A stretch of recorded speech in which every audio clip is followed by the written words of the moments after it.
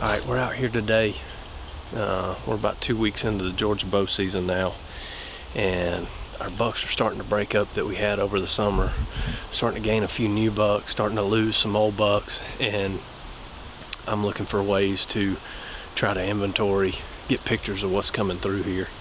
Um, a little bit further away from where we've been hunting, so one of the ways I like to do that without having to use baits or attractants or anything like that is a mock scrape. Um, there's a lot of different ways out there that you can do it.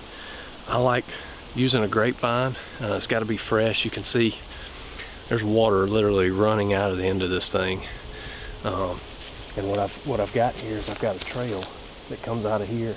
I mean, this whole hillside's torn up with rubs, and I've got a limb here that's too high for a deer to scrape under, but it's right on the trail, so I know it's gonna be right in his face when he comes by. So I'm gonna take this grapevine and I'm gonna hang it from this limb using a piece of wire and it's gonna put it at the right height. We've got us a rake here. We're gonna uh, open up the ground up underneath it for a good visual appeal and I, I promise you these bucks will take to this. Uh, you don't have to use any scents or anything, just, just a good grapevine put it somewhere where the deer are gonna walk and they're gonna find it and take to it and start using it. So you get this thing hung up. So like I said, I've just got some wire. I'm gonna tie this thing up real good with that wire. I can't pull it off of there. And we're just gonna come up here on our tree branch.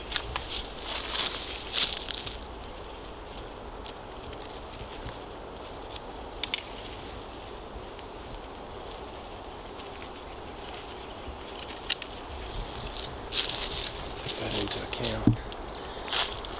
It's going to be about the right height right there. Going to take a little bit of weight. So, so the weight has made this thing sag down. So I'm just going to take my clippers. To take a little bit of weight off the top, get this thing back up a little bit, and then finish wiring it in place.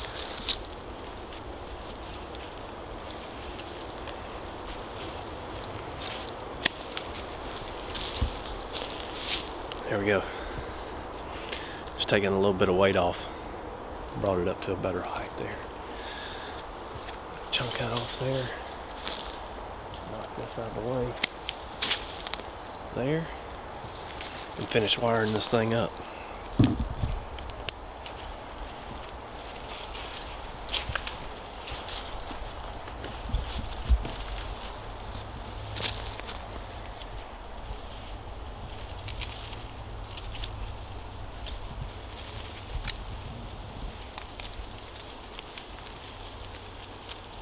You really want to get that thing wired up there good.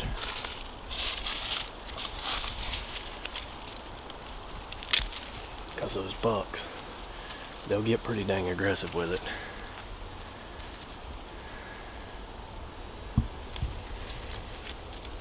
And they might, you know, if you're not careful, they might pull it off of there. So make sure you wire it up good.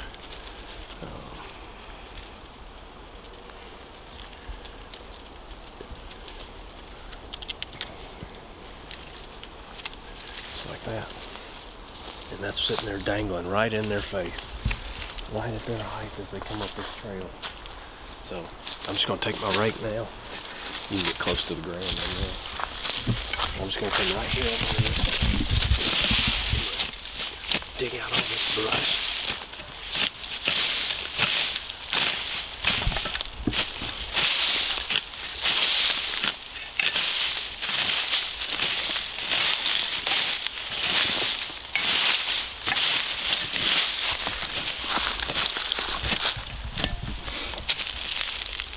Get all this stuff out here.